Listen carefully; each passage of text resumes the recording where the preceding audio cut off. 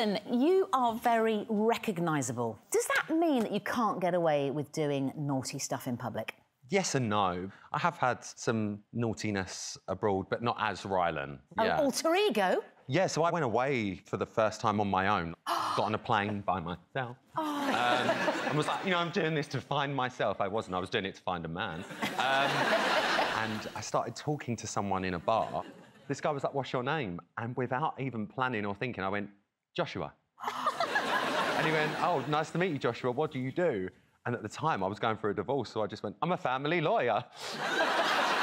so for three days, I was Josh, the family lawyer, and um, I got away with it up until the last night when I met some of his friends and we all went for dinner, and I just heard, oh my God, not Rylan.